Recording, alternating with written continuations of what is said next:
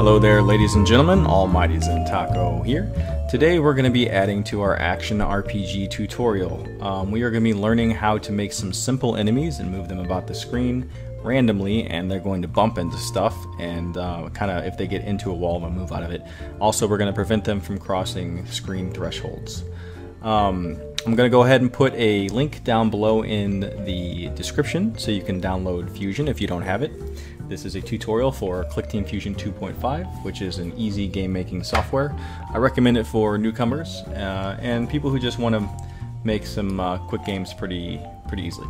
So the first thing you're going to want to do is right click and insert an object, put in the active object, and this is going to be our enemy template. Go ahead and rename that enemy. Now this is going to need some alterable values, so stick three in there. First one's going to be RND, that stands for random. That's going to be a random number. Uh, then we're going to need a direction value. That is going to be the value that controls which direction our enemy is moving into. and the last value is speed, SPD. Uh, speed is going to be the value at which the enemy is moving different directions. We're going to go ahead and make that 2 for now. At any point in which you want to change the speed of the enemy, you can do that through code, or you can just change it right here.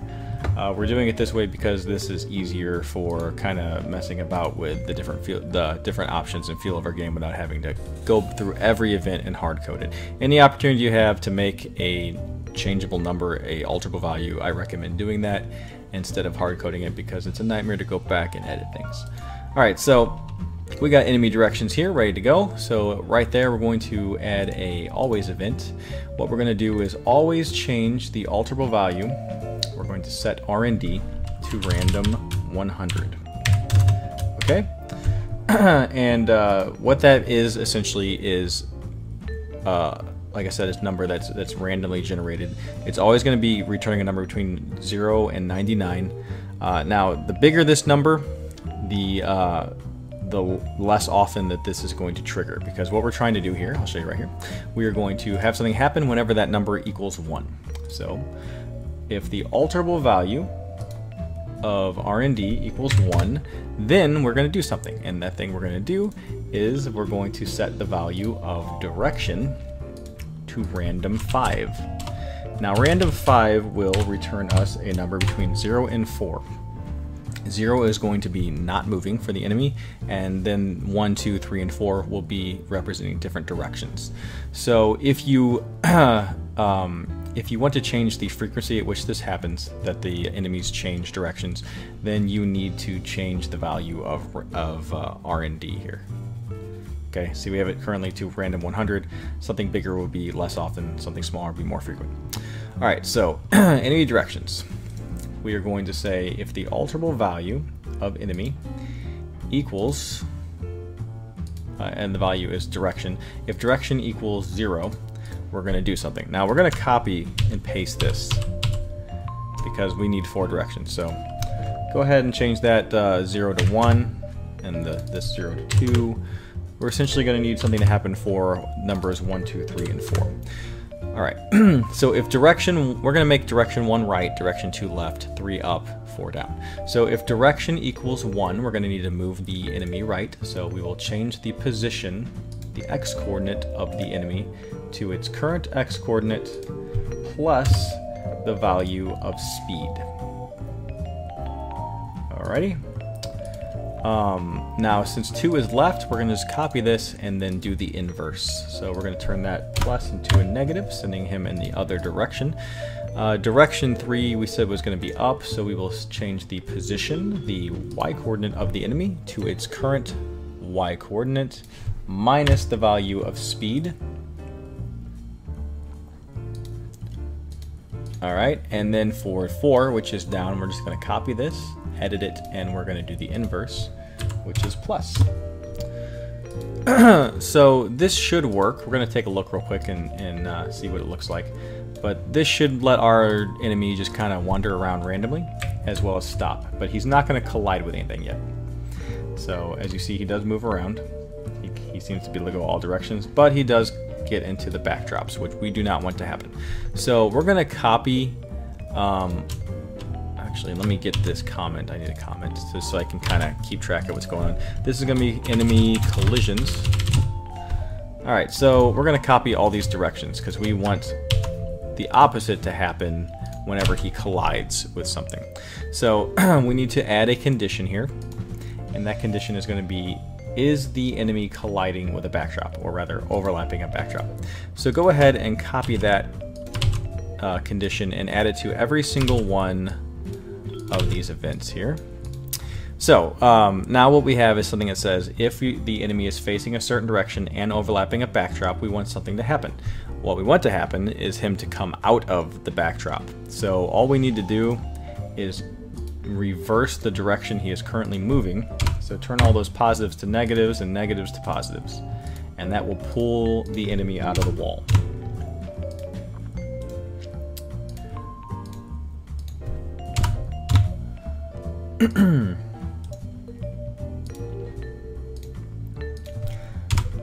Except there's one more thing we're going to want to do. Um, where it says RND equals 1, and that's when we change the direction to a random direction, we do not want any direction changes to occur when the enemy is in a wall, so we need to add another condition here. And that condition is collisions overlapping a backdrop uh, under the enemy. And then we're going to go ahead and negate that, saying that if the enemy is not overlapping a backdrop, then you can go ahead and give him a random direction if the RND value is 1. Otherwise, he could get stuck in a wall, and while you're pulling him out of that wall, uh, the direction could potentially change, and then he would it would just screw things up. It would drift him out of the wall, or maybe into a weird direction. It's just not it's not good. We don't want that. So um, this should have collisions now. This enemy, but he can cross panels, as you can see right there. He's crossing the panel, but he does collide, and he doesn't appear to get stuck. So he is functionally functioning properly, except I don't want him to be able to cross uh, the panel threshold. So we're going to copy all this, paste it, and we're going to say keep enemy on panel. Um, and so what we want to do here is replace overlapping a backdrop with uh, something, click on the enemy, and it's under uh, position. We're looking for is enemy getting close to Windows Edge, and set that value to negative 1. So what that means is whenever the enemy is has just barely crossed the screen, that's the point at which this is going to trigger. So delete all of these is overlapping of backdrops and copy the uh, getting close to the Windows Edge and just go ahead and paste that into every single one of these conditions. Uh, it's going to be doing though the, the the event is going to be identical to when he collides with the wall, so we don't need to change anything there. We just want him to come away from the panel edge. So now we should have a fully functional enemy. So let's get a bunch of these dudes, copy them about, so we can kind of see how they behave when you have a whole ton of them on the screen.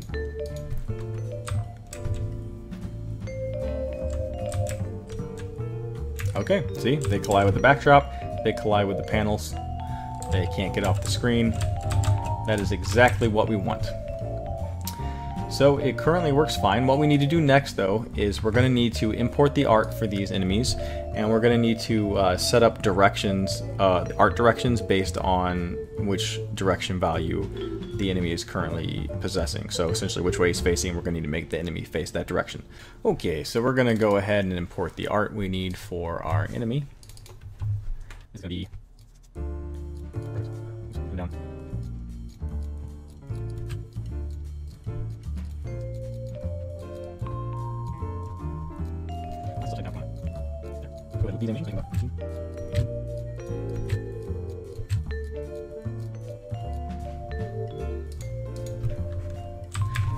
Alright, let's see how this art looks on these dudes. Okay, so they're animated. We just need to set their directions. So, to do that, um, we will do that under enemy directions. Now, as we know, direction 1 was right, so under the enemy, we will go to direction, select direction, and select right. 2 is left, so we will go to direction, select direction, select left. Uh, 3 was up, so we will go again to direction, select direction, make that one up. And for the last one, we will go to direction, select direction, and we will make that one down. Let's see if it worked. Alright, look at that.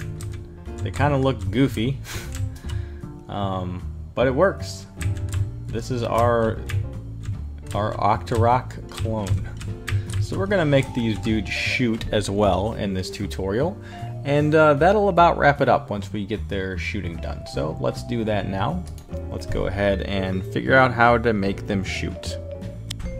Alright, so now we're going to add the projectiles. Let these, these little Octorok clone dudes fire off.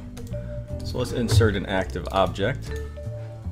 Let's call this projectile uh, underscore enemy, so we know it's the enemy projectile. Got some art for this.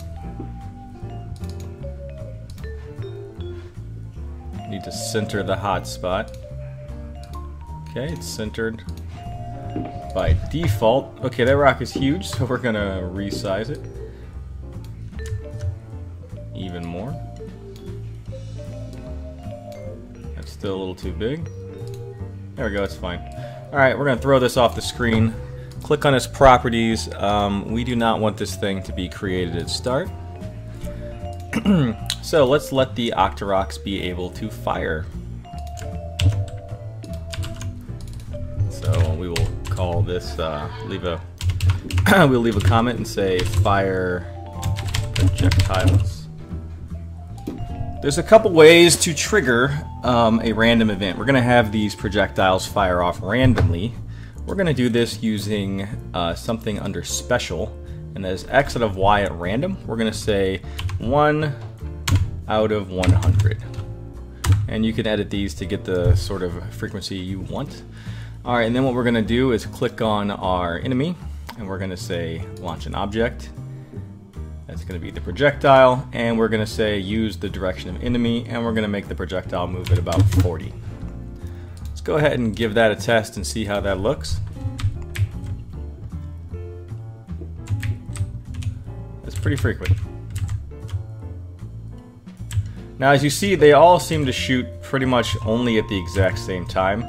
Um, that's the downside to using X out of Y at random if you're not putting it inside of a behavior. So to make this uh, different for each one, we're going to need to refer to our uh, random alterable value inside the enemy. So we're going to replace this. Click on the enemy, and we're going to say uh, alterable value compared to one of the alterable values, and that's going to be random or RND. And we need to make sure it's different from when they turn. They turn it at one, so it can be anything. We'll just make it two. So that should unlink their attacks. They should attack separately now. Yep. Alright, so uh, let's go ahead and destroy the object when it hits the background, so it doesn't move through the screen. When it collides with a backdrop, we are simply going to destroy it. And this is the point in which you would want to uh, also create an effect, an explosion effect, if that's what you want to have. Um, but we don't need that. now, there is an issue currently uh, with this. It's not the best way to do things. These enemies, they can cross the screen threshold because our screen slowly pans, it doesn't snap. So if they're at the sides here, um, they can they can cross it whenever see whenever I move across the screen. Um, also, because they're just moving about all the time, you can you don't know where they're at when you cross the screen threshold, and so you can step right into one. And if you take damage when you hit these, that's not good for game design. So what we're gonna do is give them two more alterable values. We're going to call them start x and start y. and what we're going to do is at the start of the frame, we are going to set their current position of x and y into start x and start y, so that where you place them is um, is going to be in those variables. And then when you leave the screen, we're going to make it so that they go back to those positions. So start a frame, we're going to start set the alterable value of start X to the enemy's X position. And we're going to do the same thing for start Y. So set start Y to the enemy's Y position.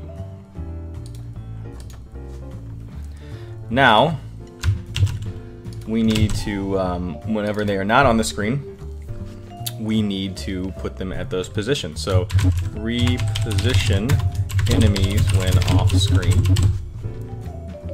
So how we're going to do that is we are going to check the position of our enemy. We're going to say is enemy getting close to Windows Edge. And if it's negative, um, we can do one. Let's just do negative five. uh, we will say set the position, the x coordinate to the value of start x, and we're going to set the y coordinate to the value of start y. So position y coordinate to the value of start y. Here we go. Okay, they're moving around. And they're back at their initial positions, which were not really that well placed because you can still hit a dude when you cross the threshold, but that's a design flaw, not a programming flaw. So there we go. Um, seems we're done here. Actually, there's one more thing we want to do. We want these projectiles to be destroyed when they're off the screen, so we will do the same thing um, that we did for when we reposition the enemies. So let's go ahead and do that now. Say destroy off-screen projectiles. And if the position is getting close to Windows Edge, negative 1 is fine, then we're just going to destroy it. So if it touches the edge, it'll be destroyed, or if it's off screen, it'll be destroyed.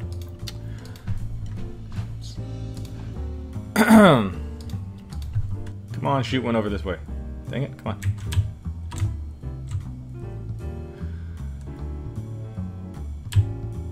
Yep, okay, so it gets destroyed whenever it crosses the screen threshold. So, um, that about does it, guys. Thanks for watching this video. This concludes part two of our Action RPG tutorial series. If you have any other suggestions or things you want to learn about how to make an Action RPG, feel free to leave it in the comments below. Or if you have any questions, I will try to get back to you as soon as possible. Uh, thanks, guys, for watching, and I hope you guys all have a fantastic day. Catch you later.